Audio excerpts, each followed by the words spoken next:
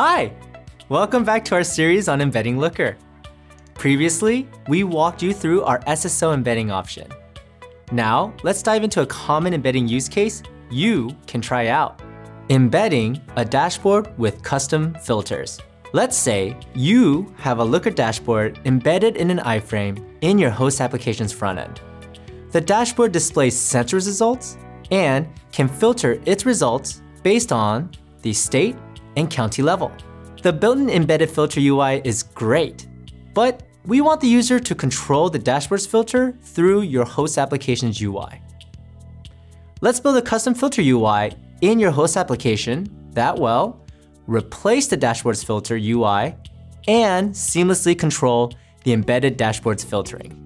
The implementation will use React, our Looker Components library, our API SDK, and our Embed SDK.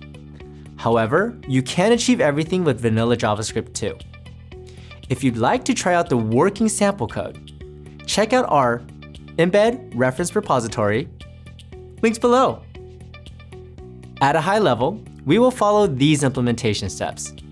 We will hide the dashboard's filter UI, build the host application's custom filter UI, fetch the filter state from our Looker API to initialize the custom filter UI, and lastly, set up the custom filter UI to message the embedded dashboard on user input. As always, a quick knowledge check before we continue. You should be familiar with JavaScript, Looker dashboard filters, and the previously mentioned implementation dependencies.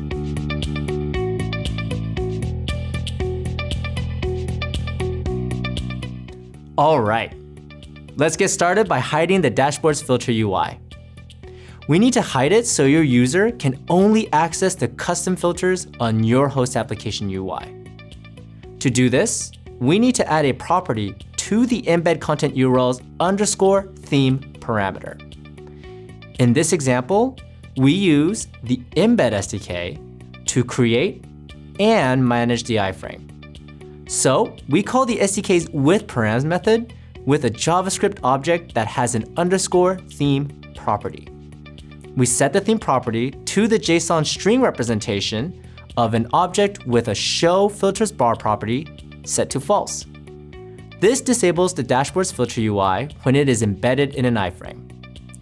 Keep in mind, you must enable custom themes in your Looker instance to do this. With the dashboard's filter UI hidden, let's replace it with a custom filter UI in your host application.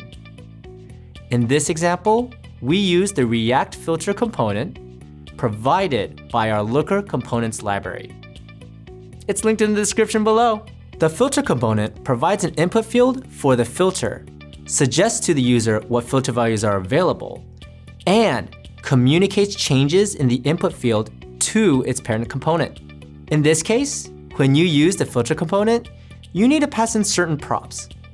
The available values or suggestions to filter on, the current values or expression of your filter, the type configuration of the filter, like if it's a drop-down menu, and other props.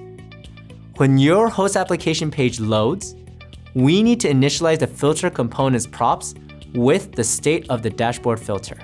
To do this, we fetch the dashboard's filter state from the Looker API and initialize the filter component props with the fetched state. For ease of use, we will use our Looker API TypeScript SDK to call the API endpoint. The SDK is linked in the description below. We call the SDK's dashboard method with the dashboard ID and use the fields argument to specify that we only want the dashboard's filters properties returned. The SDK call returns all of the dashboard's filters and their properties, like their current values, suggestions, and more.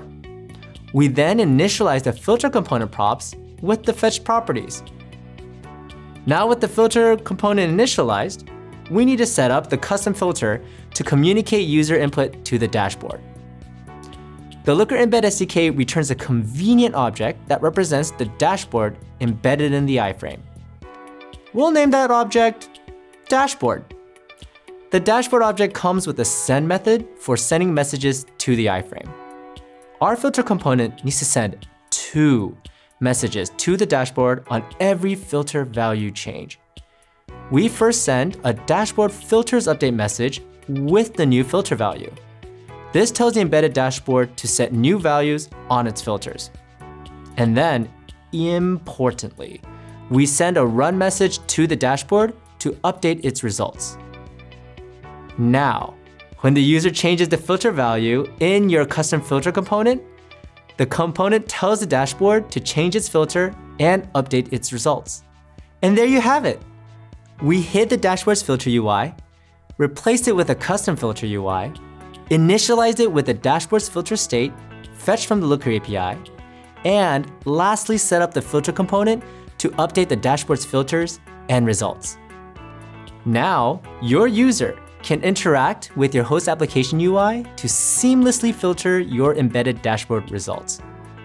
We hope this use case gives you a glimpse of the flexibility of Looker embedding. We provide open source tools like the Looker Embed SDK, the Looker Component Library, and the Looker API SDK to help you embed Looker more easily. Don't forget to try out the working sample code in our Looker Embed reference repository. Everything I've mentioned is linked below. And with that, look out for more videos in this series. See you next time.